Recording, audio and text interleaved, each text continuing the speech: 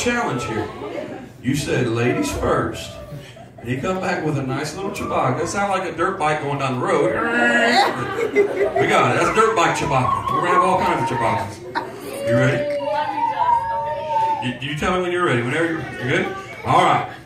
Best Chewbacca. Now look look, Say hi, man. They're making videos, everything else. All right. This is your best Chewbacca now.